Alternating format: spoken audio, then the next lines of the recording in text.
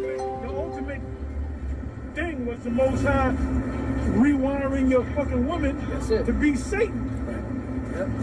Yep. Because this is really this is a punishment.